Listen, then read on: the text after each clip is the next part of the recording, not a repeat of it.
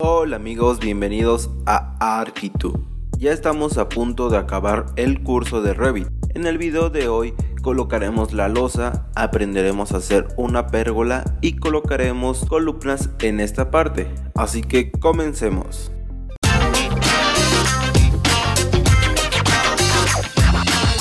Para empezar debemos estar en el nivel donde se colocará la losa, en este caso es el nivel 2. En la pestaña arquitectura iremos a la opción de techo. Vamos a editar tipo. Duplicamos para no afectar a esta familia. Lo llamaré losa de azotea. Editamos la estructura en este caso para la azotea ocuparemos una losa maciza de concreto. Entonces en estructura elegimos hormigón. Le damos un espesor de 10 centímetros. Insertamos otro material para la parte superior. En función elegimos acabado 1. El material será un enladrillado. le damos un espesor de 10 centímetros. El material de la parte inferior me parece que está bien. Damos a aceptar. Ahora ya podemos colocar la losa.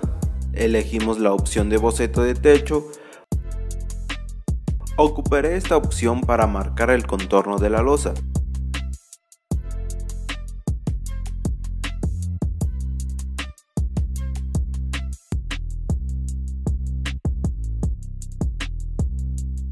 Ya marcado el contorno de la losa, finalizamos boceto. Vamos a la vista 3D para ver el resultado. Haremos un desfase de altura para que no se vea abajo la losa. Seleccionamos la losa y en desfase de altura cambiaremos de 260 a 280. Y así se verá la losa de azotea. En esa parte como hicimos el hueco para la escalera nos muestra un agujero. Para reducir el hueco solo lo seleccionamos y bajamos con esta flecha. Agregamos otro material para la losa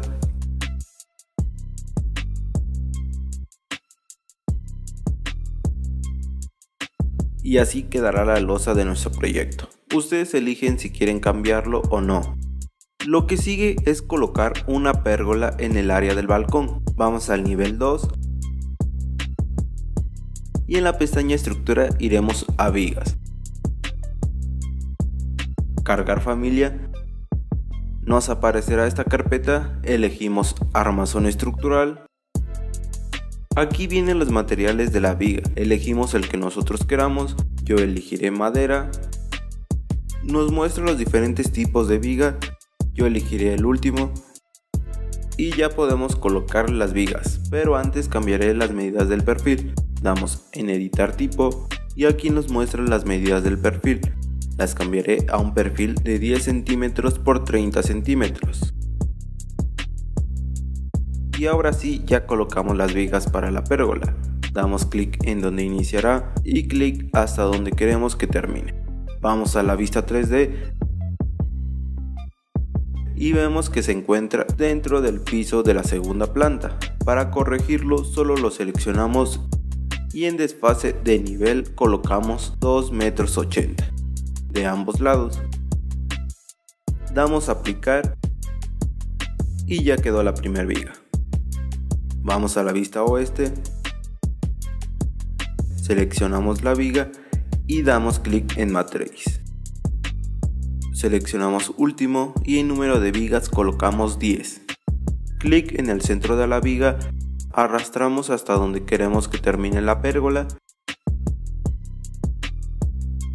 Ya nos quedaron las 10 vigas, pero aquí también podemos reducir o aumentar las vigas. Por ejemplo, cambiamos de 10 a 12 vigas y damos enter.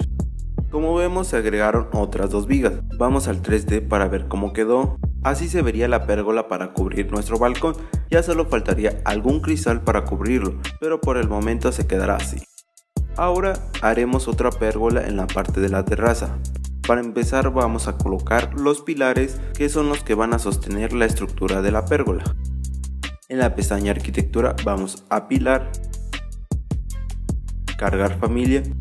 En la carpeta Spanish INTL seleccionamos la carpeta de pilares estructurales. Material igual elegiré madera y escogeré el mismo tipo de perfil. Antes de colocar editaré las medidas del perfil. Duplicamos para no afectar a este perfil. Cambiamos las medidas a 10 centímetros por 30 centímetros. Aquí en vez de colocar profundidad colocaremos altura. Lo demás se queda así y ahora colocaremos el pilar. Yo lo colocaré por aquí. Damos escape, seleccionamos el perfil, haremos una matriz, seleccionamos el centro del pilar y arrastramos hasta la otra esquina. Lo dejaré con dos pilares, damos enter y ya quedaron nuestros pilares. Lo que sigue es colocar las vigas, para eso haremos el mismo procedimiento.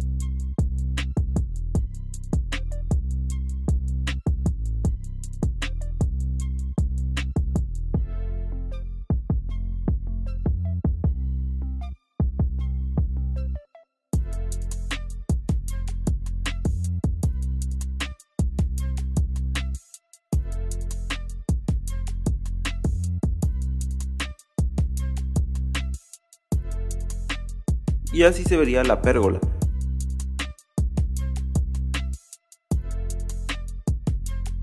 Por último colocamos las columnas en esta parte, que son las que sostendrán el piso de arriba. Vamos al nivel 1. Vamos a la pestaña arquitectura, pilar y cargar familia. En este caso elegimos una columna de concreto yo elegiré este pilar, editamos tipo y haré una columna de 20 por 20. Y editada la columna la colocaremos